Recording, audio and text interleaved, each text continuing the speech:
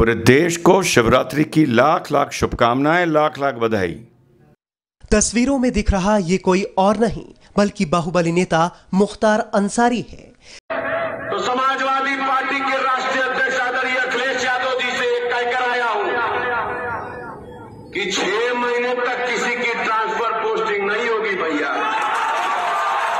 जो यहाँ है वो यहाँ ही रहेगा पहले हिसाब किताब होगा उसके बाद उसके बाद उनके जाने के सर्टिफिकेट पर मुहर लगाया जाएगा याद करिए, जब नाना पाटेकर एक बहुबली दिखाए गए हैं और उनकी गाड़ी की चेकिंग होती है और वो एसपी सिटी को झापड़ मार देते हैं, लेकिन गंगा जल पिक्चर का ये सीन लगभग काफ़ी हमारे साथियों को याद होगा। तो साहब, उत्तर प्रदेश में, उत्तर प्रदेश के कद्दावर नेता रहे, मुस्लिम नेता रहे, समाजवादी नेता रहे, आज़म खान और उनके परिवार का, राजनीतिक करियर का सूर्य अस्त होता नज़र आ रहा है। यूँ तो सूर्य अस्त रोज होता है और सूर्य अस्त के बाद सूर्य उदय आठ नौ घंटे में हो जाता है। पर देखना यह है कि क्या ऐसा सूर्य अस्त हर राजनेता का होता है, जिसका राज में इतना रसूख रहा हो। और यह भी देखना है कि ये रात कितनी लंबी और कितनी काली होगी। तो आज का वीडियो इसी विषय पर, राजनीतिक नज़रिए से और ज़ुबान और व्यवहार के नज़रिए से ये एक संदेश भी है।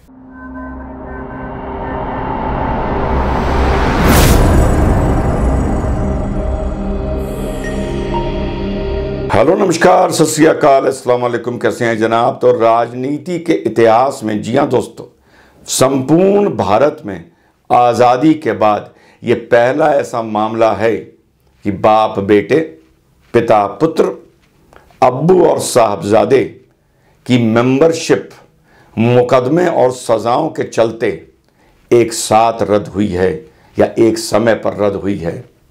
और ये भी दूसरा हिंदुस्तान का एक अपने आप में रिकॉर्ड है कि एक ही व्यक्ति की, यानी अब्दुल्ला आज़म आज़म खान के साहबजादे की मेंबरशिप दो बार सजा के चलते रद्द हुई है। अब्दुल्ला आज़म की मेंबरशिप इससे पहले 2017 में गलत हलफनामा देने के चक्कर में, गलत डॉक्यूमेंट देने के चक्कर में रद्द हुई थी। और उसके बाद अब 2008 में एक मुकदमा जो पिता पुत्र पे लिखाया गया था कि इनकी गाड़ी के बारे में कुछ संदिग्ध या कोई गैर कानूनी चीज़ की जानकारी पुलिस को मिली थी इंटेलिजेंस के थ्रू कि उसमें कुछ चीज़ कैरी करी जा रही है और उसकी तलाशी लेने के लिए जब इनकी गाड़ी रोकी गई तो इन्होंने वहाँ पर बलवा कर दिया, बवाल करवा दिया। तो तीन सौ तिरपन थ्री फिफ्टी थ्री बहुत ही संगीन धारा है और सेवन क्रिमिनल अमेंडमेंट एक्ट तीन सौ तिरपन कहती है, सरकारी अधिकारी के काम में ज़ोर ज़बरदस्ती करके हस्तक्षेप करना। ये नॉन अवेलेबल ऑफेंस होता है। इसमें अब बाप को, बेटे को, पिता को, सुपुत्र को पुनः एक बार दो साल की सज़ा हो गई है। अगर ये सज़ा मेंटेन रहती है तो बाप और बेटे, अब्बू और साहबजादे 2024 का लोकसभा का और 2027 का विधानसभा का दोनों चुनाव नहीं लड़ पाएँगे।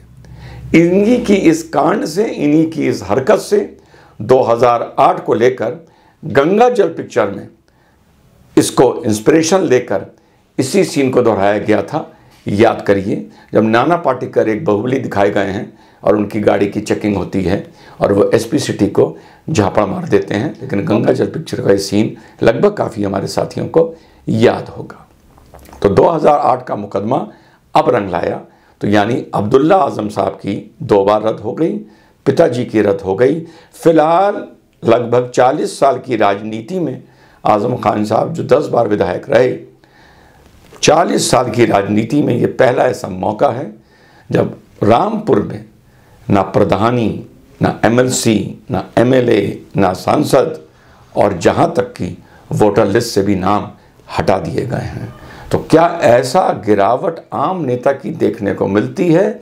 सवाल है कि अगर किसी नेता को वोट नहीं मिलता, वो चुनाव हार जाता है, पर ऐसा रसूख गिरना आमतौर पे देखा नहीं जाता। अध्ययन होना चाहिए पॉलिटिकल साइंस के स्टूडेंट्स के लिए कि क्या इसका कारण है। क्या इसका कारण सिर्फ़ और सिर्फ़ भाजपा की एंटी मुस्लिम पॉलिसी है, जिसका आए दिन सेकुलर पार्टियाँ रोना रोती रहती हैं? या तथाकथित तौर पर मुसलमान भी इस बात का रोना रोते रहते हैं कि हमको टारगेट किया जा रहा है। दूसरा यह अध्ययन का विषय है साथियों, कि जब आप सत्ता की कुर्सी पर बैठे होते हैं तो आपकी शब्द शैली क्या होनी चाहिए? आपका व्यवहार क्या होना चाहिए? ये तब आपके काम आता है जब आप सत्ता की कुर्सी छोड़ चुके होते हैं। ये कलेक्टर पलेक्टर से मत डरियो। ये तनखैया है, तनखैयों से नहीं डरते। हैं और देखें कई मायावती जी के फ़ोटो। कैसे बड़े बड़े अफसर रुमाल निकाल के जूते साफ़ कर रहे हैं। हैं? उन्हीं से है गठबंधन। हाँ उनसे उन्हीं के जूते साफ़ कराऊँगा इंशाल्लाह ने चाह उसकी असलियत समझने में आपको सत्रह बरस लगे। मैं सत्रह दिन में पहचान गया। कि इनके नीचे का जो अंडरवेयर है वो खाकी रंग का है। मैंने आपको लेकर आज़म खान ने एक विवादित बयान और दे दिया आज।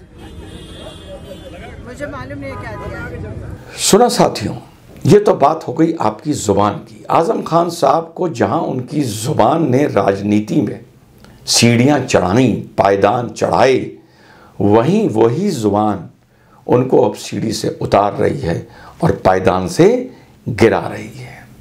दूसरा as a Muslim leader Azam Khan साहब में दो बहुत बड़ी प्रॉब्लम थी। एक एज अ मुस्लिम लीडर और एक as a human as a Muslim leader Azam Khan में सबसे बड़ी जो प्रॉब्लम थी, वो ये थी कि वो शायद केवल अपने को ही एक सच्चा ईमान वाला मुसलमान मानते थे। बहुत से कटर छाप, बहुत से मेरे भाई, जिस तरह मुझे मुनाफिक बोलते हैं, आज़म खान की जो शैली थी उनसे अगर बात करो तो ऐसा लगता था, सिर्फ़ वही एक सच्चे मुसलमान हैं और वो ही एक सच्चे मुसलमान के प्रतीक हैं, कम से कम उत्तर प्रदेश या उत्तर भारत की राजनीति में। दूसरा इसके साथ साथ उनको जो वो ईमानदारी की अपनी बात करते थे, उनको ये लगता था कि पूरे भारत में सिर्फ़ वो ही एक ईमानदार हैं। ईमानदारी उनकी क्या थी? ये जौहर यूनिवर्सिटी के मामलों में अब देखने को मिल रहा है। जौहर यूनिवर्सिटी का जो रिसर्च सेंटर है उसकी बिल्डिंग आज़म खान साहब ने सपा सरकार से निन्यानवे साल की लीज पे मात्र सौ रुपए पे ली थी। ईमानदार वो कितने थे? ये देखने को मिला कि योगी सरकार आने के बाद जो जौहर यूनिवर्सिटी के लिए उन्होंने ज़मीनें हड़पी थी, जिसमें ना उन्होंने हिंदू को छोड़ा था और ना मुसलमान को छोड़ा था। और हकीकत ये है कि उनके हड़पने की जो एक सिलसिला चला था उसमें एक गरीब मुसलमान, एक आम मुसलमान ज़्यादा बड़ा उनका शिकार बना था, बनस्बत हिंदू के। और उसके साथ साथ अभी कल रामपुर पब्लिक स्कूल की बिल्डिंग भी, जो उनको निन्यानवे साल की लीज पे दी गई थी, उसको भी खाली कराने का नोटिस आ गया है। इसके साथ साथ आज़म खान परिवार के साथ साथ एक और चीज़ सामने देखने को आती है कि इस पूरे प्रकरण में यादव परिवार की क्या भूमिका रही? जब आज़म खान साहब जेल से छूट के आए उस टाइम मुलायम सिंह यादव जी ज़िंदा थे तो इन्होंने एक व्यंग मारा था। हो सकता है मेरा नंबर ना हो इनके पास। यही इनकी ज़ुबान की शैली थी। ये व्यक्ति ये भी बोल सकता था कि वो वृद्ध हैं बीमार हैं। हो सकता है मुझे फ़ोन ना कर पाए हों। मैं ही जाके उनको मिल लूँगा। वो मेरे गुरु भी हैं मेरे मित्र भी हैं मेरे मार्गदर्शक भी हैं। लेकिन नहीं। और यही वो वजह थी कि धीरे धीरे यादव परिवार ने आज़म परिवार से अपनी दूरियाँ बना ली। एक चीज़ बड़ी गौरतलब है, देखने वाली है कि 2008 के इस मुकदमे में तीन दिन पहले बाप बेटे को सज़ा हुई है। मामला एक तरह से हम इसको पॉलिटिकल भी मान सकते हैं। ऐसे मुकदमे नेताओं पे आए दिन लिखे जाते हैं। लेकिन उन नेताओं की शैली वक्त पर झुकने वाली और लचीली होती है तो वो इस तरह के मुकदमों से निकलते जाते हैं। जॉर्ज फर्नांडिस साहब पर तो कितना संगीन मुकदमा था, डायनामाइट केस, उसके बाद जाके वो रक्षा मंत्री बने। कोई ऐसा नेता नहीं होगा जिसपे इस किस्म के कम से कम रास्ते रोकने के धरना प्रदर्शन के मुकदमे नहीं होंगे। लेकिन उस नेता की जो शैली होती है, उसमें लचकपन होती है, वो हनक नहीं होती है, वो दादागिरी नहीं होती है। एक तरह से अघोषित बाहुबली बन के इन्होंने राजनीति की है कि इन्होंने आज़म खान साहब ने। तो आज़म खान परिवार के साथ साथ ये एक तरह से उत्तर प्रदेश में फ़िलहाल मुस्लिम राजनीति का भी सूर्य अस्त है। सपा को आप लेके चलें, सोलंकी साहब अलग फंसे हुए हैं। अहमद हसन साहब अब रहे नहीं। आज़म खान साहब की राजनीति ख़त्म हो गई। अब गाज़ियाबाद बॉर्डर से लेकर इधर बस्ती तक, गोरखपुर के आगे तक, बिहार बॉर्डर तक, समाजवादी पार्टी में, कांग्रेस में या किसी और पार्टी में कोई ऐसा कद्दावर मुस्लिम नेता नहीं बचा है जो ये कह सके कि मैं मुसलमानों का नेतृत्व करता हूँ, या मैं उनके लिए बात करता हूँ, या मैं उनके लिए लड़ता हूँ। और इसी वैक्यूम में घुसने की कोशिश बार बार कम से कम दो बार ओवैसी साहब कर चुके हैं।